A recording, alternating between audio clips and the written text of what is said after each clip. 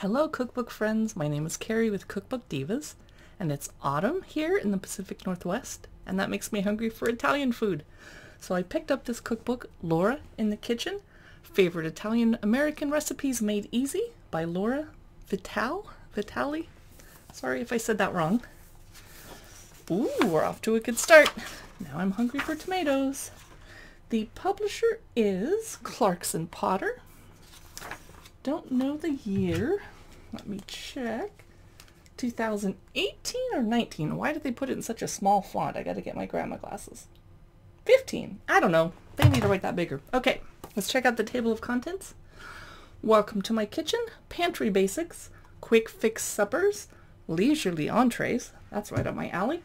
Super simple salads and sides. Irresistible desserts. The cookie jar. And at the end, easy breakfasts and brunches. Oh wow, that's usually at the beginning. Cool. Okay. Welcome to my kitchen. Pantry basics.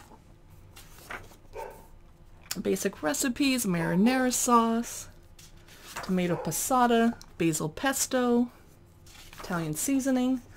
And now we jump into quick fix suppers. Ooh, weeknight minestrone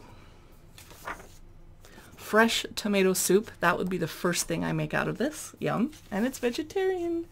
Easy butternut squash soup with crispy sage leaves. That sounds nice. I don't have time to crisp my sage, but I do grow it. Fattoush with grilled chicken. Greek meatballs in pita. Hey, I thought this was an Italian cookbook. Ah, that's okay.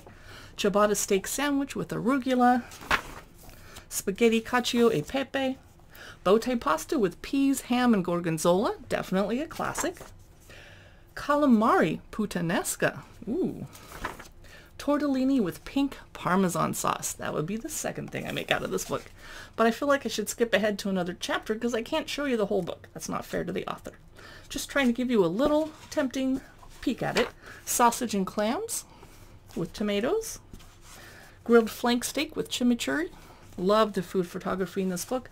I like the layout. It's clean. It's easy to read except for the copyright notice at the beginning of the book that was tiny leisurely entrees, clam and corn chowder,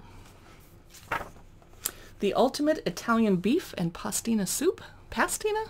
Don't know how to say that. Gorgeous bolognese. My boyfriend wishes I would make that tonight. But no, it's Taco Tuesday. How about tagliatelle with mushroom ragu? Spinach and artichoke stuffed shells. Definitely leisurely entrees take a lot more time than the first chapter of the book, but fair enough. The easiest ever broccoli mac and cheese bake. Man, if I tried to put broccoli in my kids' mac and cheese, they'd be like. Cornbread dumpling topped chili. Yes, that sounds delicious. Rice and bean enchiladas. I thought this was an Italian cookbook. okay, and this is some kind of chip, chicken and vegetables with dumplings or biscuits on top. Eggplant parm bake. Nana stuffed peppers, roasted chicken cacciatore. That's a lot of work. Definitely worth it. Herbes de Provence roasted chicken. Okay, herbes de Provence is French, but I, okay. Super simple salads and sides. Spicy black beans, red cabbage and bacon slaw. Fennel and orange salad. Nice for wintertime. Minty pea salad. Nice for spring. Balsamic roasted beets. Mmm, I need to make those cannellini beans with pancetta and spinach. Uh, shortcut crispy Old Bay fries. Yum. And I like that you had me at shortcut. Wild rice pilaf. Roasted garlic polenta. And, ooh, I think we're in the dessert chapter. What just happened? How did that happen? Let me go look. I'm not complaining. Jammy creme brulee. Oh, here we go. That's what I wanted to show you. Okay. I don't know what that dessert is. Toffee apple crumble. Hazelnut tiramisu. No bake Nutella cheesecake. Red velvet cupcakes. Mama's baba al rum.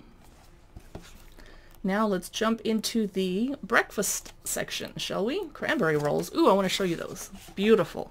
Imagine that at Christmas time. Maybe not as the main fancy dinner, but for breakfast. Easy breakfast and brunches, speaking of which. Baked eggs, blini with smoked salmon and scrambled eggs. Tiny little picture. Okay. Now here's a gorgeous picture. One pan egg breakfast. Mmm. Love it. Italian eggs benedict. What makes it Italian? Egg yolks, lemon, butter, cayenne pepper, white vinegar, eggs, ciabatta, butter, ah, prosciutto, and arugula. That makes it Italian. Okay. Frisee salad with poached eggs and bacon dressing. Cheddar bacon waffles. I'm Not sure that's Italian, but you would love eating it anyway. Cinnamon rolls, Italian donuts, and let's end with the Dutch baby with lemon, mascarpone, and berries. Very Italian dessert. This is an awesome little cookbook. I'm definitely going to put this on my front shelf where I actually grab cookbooks to cook out of and don't just hoard them. It's Laura in the Kitchen by Laura Vitale. Very, very nice cookbook. I recommend it. Thanks for watching. You can see more of our cookbook look-throughs and reviews at cookbookdivas.com website. We have a podcast. We're on Facebook and Instagram and YouTube, of course, and sometimes on Pinterest. Bye.